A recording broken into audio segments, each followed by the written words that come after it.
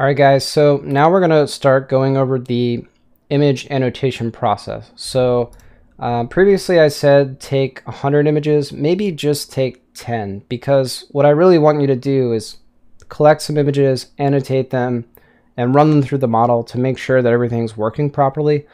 I don't know why it wouldn't be working properly, but just in case, maybe just start with 10 images, all right?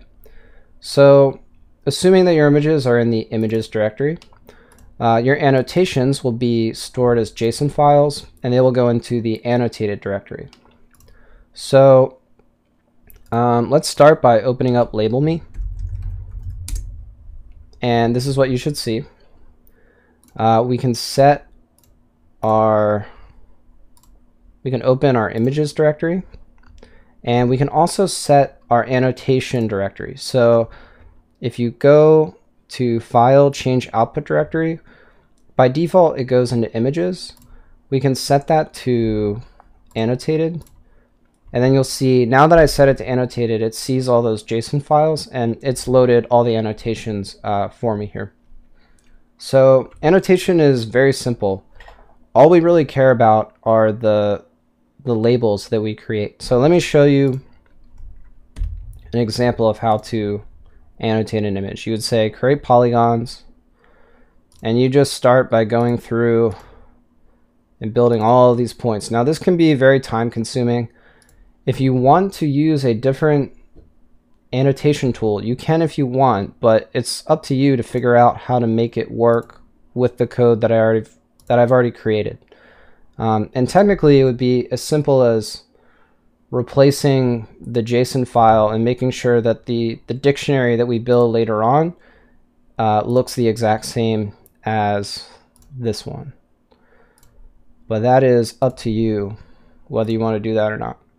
So sometimes, I, and I chose to annotate the circle here is because sometimes you want to create, let's say I want to create a point right here, um, or maybe, okay, I put a point here, I want to create a point between these two. And notice how it immediately, like I'm just hovering over and it auto corrects it. Like it auto completes the polygon and I'm not able to put, put an extra point. And this will happen occasionally.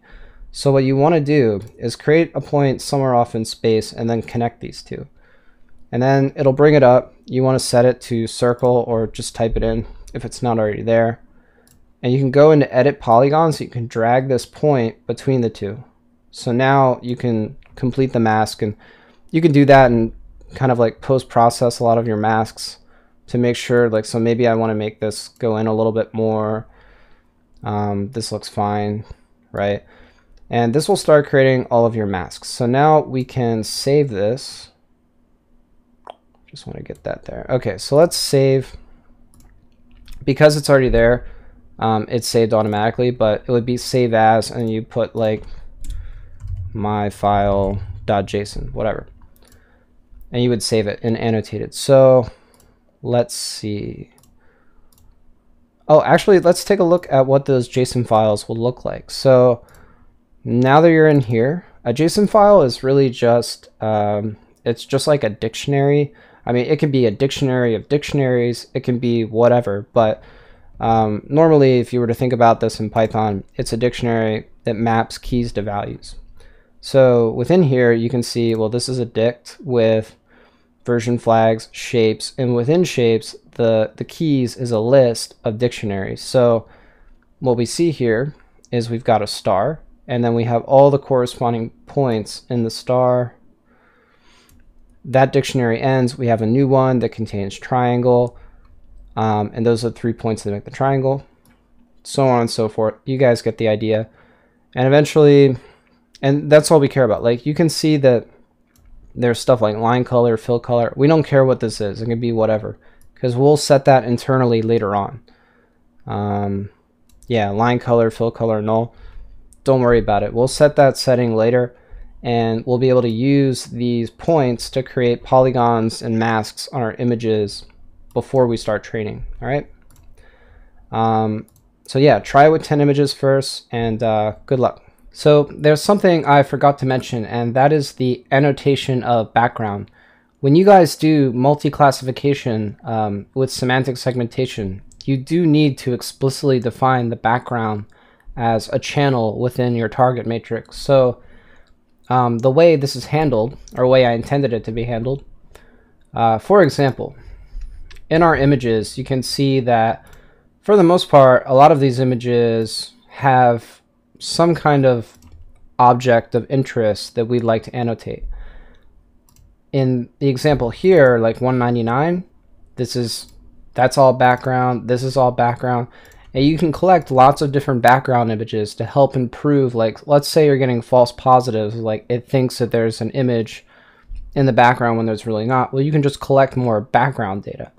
Um, the problem comes where the annotation, you need a JSON file to match that, um, that image that you captured. So the way this works, and the way I built it is, so let's say I'm going to delete like 197, 198, 199 in the annotation file. So if I go here and I delete those three, there is a function within, it's in utils.py. So uh, if you go and create a test.py file, any kind of Python file, you can say from utils import, I think it's called generate missing JSON. Um, and this gets called in train.py. You can see up here if the length of the images in the image directory and the length of the files in annotated are not equal, then we'll assume that we're missing JSON files. So what we would do is we just run generate missing JSON, which if you look at that, it's a pretty simple function, just goes in and it'll save. Here you can see it's creating a JSON file. So if you're one of those people who is using a different annotation tool, but you still want to use the same data pipeline, you can kind of follow this as a format on how to create um, your own JSON file, all right? So if you were to go over here, I don't know, say Python uh, test.py, and let me see if I make sure. Yeah, let's just call generate missing JSON, and you run that. You'll notice if you go back to annotated, those files got created. So now that will fill in your missing JSON files. Um, and that will happen automatically as you run train.py. All right. So good luck with your annotating.